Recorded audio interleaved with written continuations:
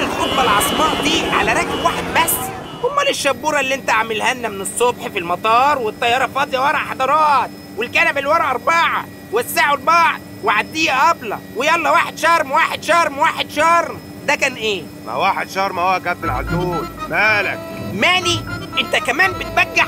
ما تيجي تشوف يا عم سيد. خلاص بقى يا عزوز إحنا في الجو. لينا مطار نتخانق فيه. بارك الله فيما رزق. ربنا يطرح فيه البركة. يطرح فيه البركة إزاي يا عم سيد انت كمان؟ يعني هيتكاثر وهو قاعد هيولد هينشطر هينقسم.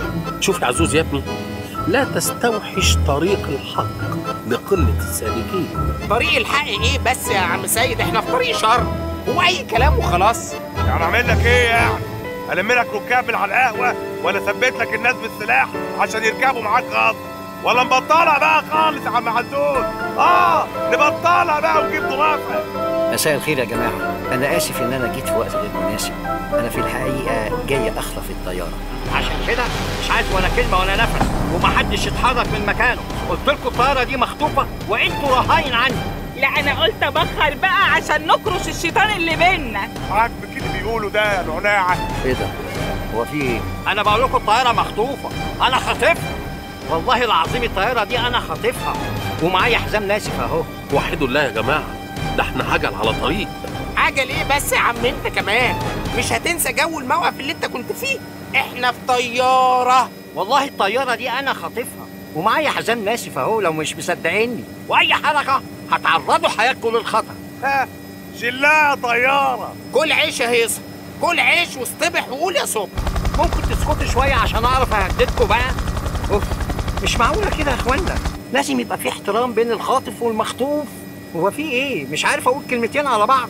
أنتوا ما تعرفوش تتخطفوا في هدوء؟ ما عندكوش نظام خالص؟ نسمع بعض يا إخوانا. بوظتوا لي الدخلة الدرامية اللي أنا كنت عاملها. يلا من الأول.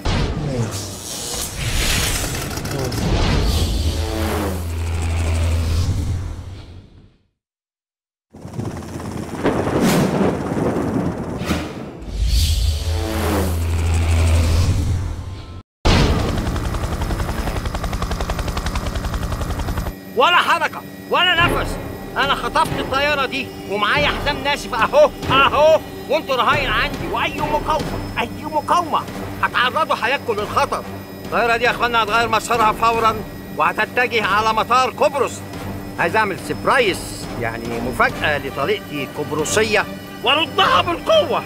قبرص مرة واحدة. عشان نرقص ضربه ونخربها هناك يا نعنوعه إيه ده؟ أحلى دعاية ممكن تتعمل للفريرة دي يا رجالة. لا وإيه؟ دعاية مجانية ببلاش.